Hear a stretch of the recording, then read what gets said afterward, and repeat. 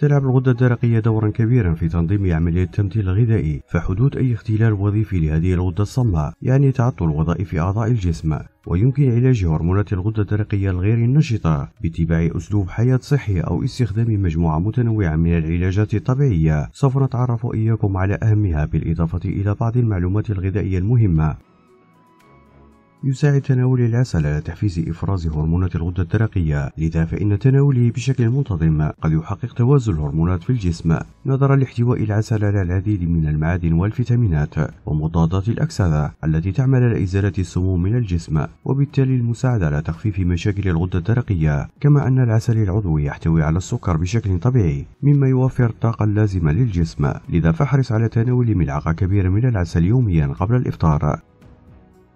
يساعد استخدام خل التفاح في علاج العديد من الحالات الصحية مثل ارتفاع الكوليسترول وارتفاع ضغط الدم وعلاج قصور الغدة الدرقية حيث يساعد خل التفاح على استعادة التوازن الحمضي وإزالة السموم من الجسم وتحسين عملية التمثيل الغذائي. كما يمكن إضافة العسل عليه من أجل المزيد من فعالية العلاج. وطريقة الاستخدام تكون من خلال إضافة ملعقتين صغيرتين من خل التفاح إلى الماء الدافئ ويخلط جيدا ويستهلك الخليط وهو لا يزال دافئا. يعد الزنجبيل من أفضل العلاجات الطبيعية لعلاج قصور الغدة الدرقية. نظرا لأنه غني بالزنك والبوتاسيوم والمغنيسيوم ومضادات الأكسدة وهو ما قد يحسن من وظائف الغدة الدرقية. ويمكن الاستفادة من الزنجبيل عن طريق إضافة شرائح الزنجبيل الطازج إلى أطباق الطعام أو عن طريق إعداد شاي الزنجبيل بالعسل. أما طريقة تحضير شاي الزنجبيل بالعسل تكون من خلال إضافة شرائح الزنجبيل إلى الماء ويترك الزنجبيل المنقوع في الماء لمدة خمس دقائق تقريبا ثم تضاف ملعقة صغيرة من العسل إليه ويقلب جيدا ثم يشرب وهو لا يزال دافئا. دافئا يحتوي زيت جوز الهند على أحماض دهنية مما قد يساعد على تحسين وظائف الغدة الدرقية كما أنه يساعد على تحسين عملية التمثيل الغذائي وتوليد الطاقة للجسم. وللاستفادة من فوائده الصحية فإنه بإمكانك إضافة ملعقتين صغيرتين من زيت جوز الهند للطهي يوميا.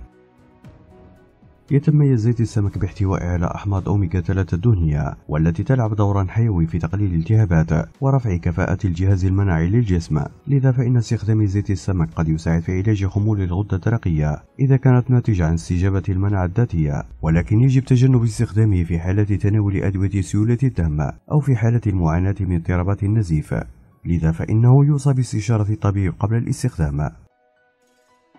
وبالموازاة مع ذلك يجب تجنب بعض الأطعمة خلال علاج مشاكل خمول الغدة الدرقية وهي كالتالي الخضروات الصليبية مثل القرنبيط والبروكلي لأنها تحد من امتصاص الغدة الدرقية لعنصر اليود الذي يشكل أساسا في عملها على الوجه الصحيح وخاصة إذا كان الشخص يعاني من نقص مستوى اليود في الجسم.